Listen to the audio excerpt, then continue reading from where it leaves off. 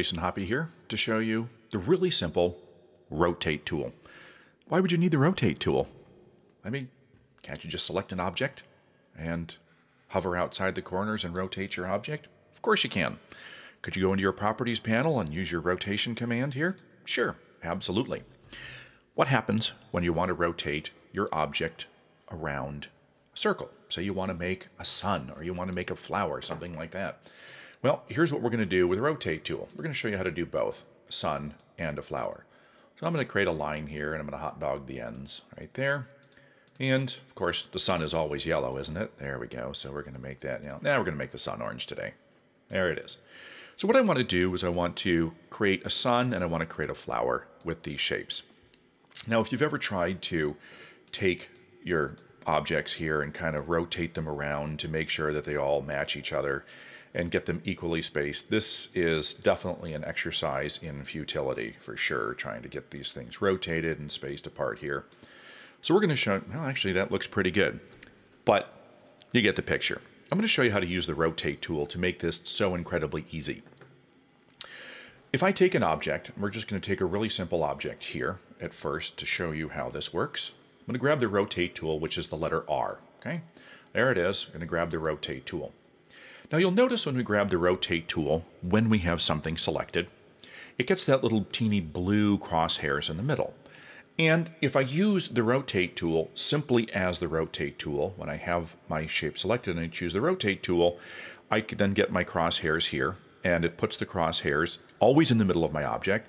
And then I can just go and I can rotate my object around, okay? I don't get the little kind of the curved arrow that I normally get when I have my selection tool. So here's an interesting thing. What happens if I don't want to rotate it from the center, which is the default? So if I take my object, grab the rotate tool, and then say I click over here. That's going to put my rotate point over there. And now when I rotate, I can rotate this all around. It's like, oh, so I don't need to rotate from the center. No, I can click anywhere on the object or off the object to go ahead and use that as my rotation point. All right, that can be interesting. So here, let's try this. I'm going to go and I'm going to take my line right here. And I'm going to grab my rotate tool but there's one thing that I'm going to do here before I go ahead and I simply click and land that point and then pull and rotate here. What I'm going to do is I'm going to say, you know what, I'd like to rotate this not around the default, which is the center of the object. I'd like to rotate it around the bottom here. But before I click and I move my rotation point there, I'm going to hold down my Option or my Alt key. And you see that dot, dot, dot, dot that shows up? That dot, dot, dot, dot tells me that this is going to open a menu item. And you may not have known that, but if you go through any of your menus right here, anytime you see something that has that dot, dot, dot, that tells you that a menu is going to come up to enter in something. If you just simply choose a simple thing like this, it's just going to happen. But anything with that dot, dot, dot means dialog box coming up. So I move my cursor here, hold down my Option or Alt key, and when I Option or Alt click, what it will do is it'll move my rotation point and then it'll go in and it will bring up my rotate dialog box. I'm going to click on the preview button and I can then go in and I can enter in any value here, say 45 degrees, and then I can click on the preview here. And I can see that I can then end, you know, rotate this at a 45 degree angle. If I choose OK, this is my result that's going to end up. But if I choose copy, it's going to not only give me my original, but it's going to copy it at a 45 degree angle. Sweet.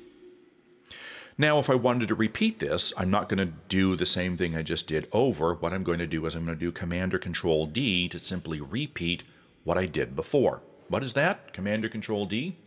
That is Object Transform Transform again. Since I had gone in and I had duplicated that line by using my Rotate tool, it allowed me to rotate this around, and then once I rotate it once at the 45 degree angle, Command or Control D will just simply repeat what I've done. So that's kind of cool. All right, so I create that kind of star shape. I'm going to copy this, and I'm going to do a sun. And I'm going to put a circle in the middle here. Using my smart guides, I'm going to line that up, and I'm going to put a circle in the middle. And I'd like this to go around my sun. Now, the lines don't need to touch at all. They could if you want to. Don't have to but I just want the line here so it lines up. Okay. Now, what would I like to do? Well, I'd like to rotate this line around my circle to create the sun. So I select my shape, grab the rotate tool. Where do I want to rotate this around? Well, I don't want to rotate this around itself here.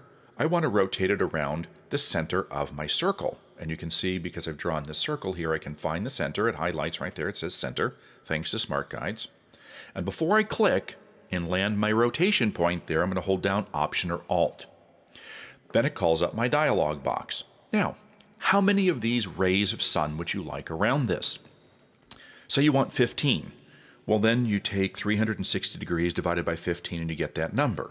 Or you use your field here as your calculator. 360 degrees in a circle divided by how many shapes or how many steps, how many copies you want. Don't click the OK button because it's just going to move this here. You want to click the copy button because you want to duplicate that. Beautiful. What's 360 divided by 15? I have no idea. But with this, once I've done that and I've done my calculation, it automatically enters in the value that I need to rotate it this far. Now I use my Command or Control D to duplicate that all the way around my sun. well, that's pretty cool, isn't it? Yeah, it is. It truly is. Okay? Just like that. Now, let's go back here. I'm just going to undo this and say you want a different number of rays of sun. Grab, select the shape, grab the rotate tool, move your cursor to where you want to rotate around, Option or Alt click, and say you want 360 and you want 20 of these. So just say 360 divided by 20. One thing you don't want to do is put in like some odd angle. So say like 17 degrees. When you put in some odd angle that doesn't equally divide into 360 degrees, what happens is when you copy this and you begin to use your Command or Control D to duplicate, you're going to come around and you're going to end up with kind of this offset because the spacing isn't the same. So whenever I go in and I rotate something using my rotate dialog box by selecting the shape, moving it to where I want to rotate, holding Option or Alt and clicking, I will always put in 360 divided by the number of objects I'd like to have. And you can see here, it's 18 degrees just by turning on and turning off the preview. Click Copy, don't click OK, and then simply use Command or Control D, and you're going to get those perfectly spaced every single time. Beautiful. So there's a sun. How do you create a flower? Simple. Here's a leaf, and again, going to use my rotate tool.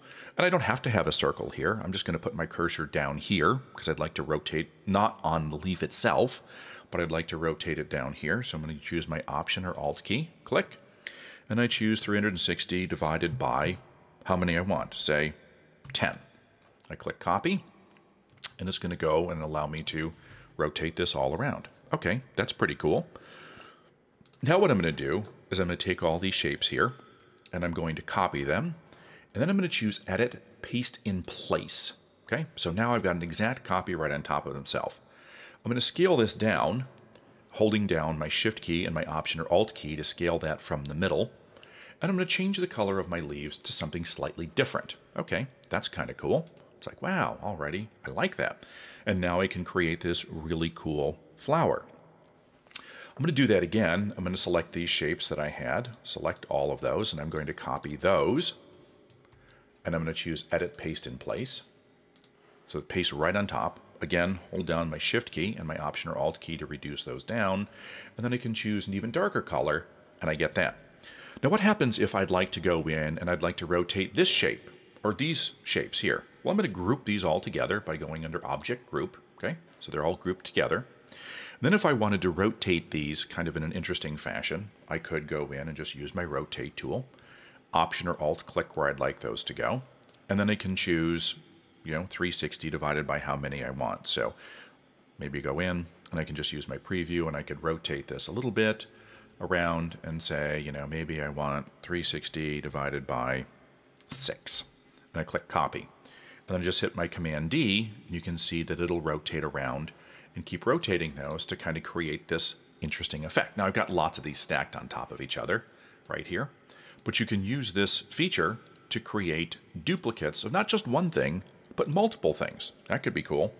So what happens if you did this? What happens if you took this flower here, this entire flower, choose your rotate, option or alt click down here, and say 360 divided by 8 and copy that and duplicate that all around. Well, now you can take anything and duplicate it. It's like, well, that's pretty cool. And that's the simplicity of the rotate tool. You can choose an object or a group of objects, rotate around a specified point, create any type of duplicate numbers that you want by putting the value in the rotate field, 360 divided by how many you want. Make sure you click copy and then hit Command or Control D and it'll rotate those all around. So you can create just amazing circular shapes just by using the rotate tool.